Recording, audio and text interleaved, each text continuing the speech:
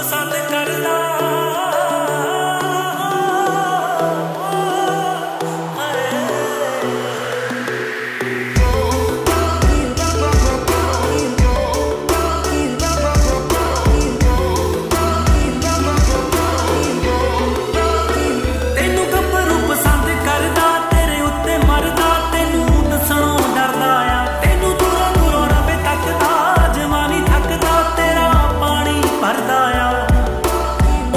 ਦੀ ਨੀ ਗੱਲਬਾਤ ਕਰਨੀ। ਤੂੰ ਹੀ ਕੁੜੇ ਜਾ ਕੇ ਹਾਲ ਚਾਲ ਪੁੱਛ ਲੈ।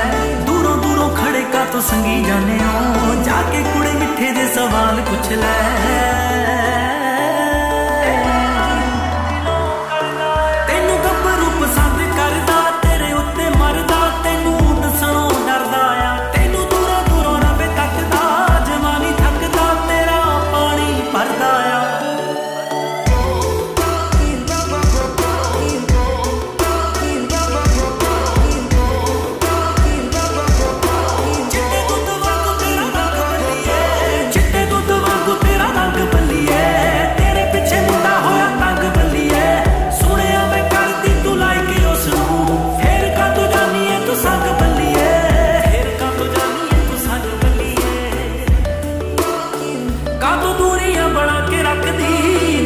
ਸਕਦੀ ਤੇਰੇ ਬਿਨਾ ਨਾ ਸਰਦਾ। ਤੈਨੂੰ ਗੱਭਰੂ ਪਸੰਦ ਕਰਦਾ ਤੇਰੇ ਉੱਤੇ ਮਰਦਾ ਤੈਨੂੰ ਦੱਸਣੋਂ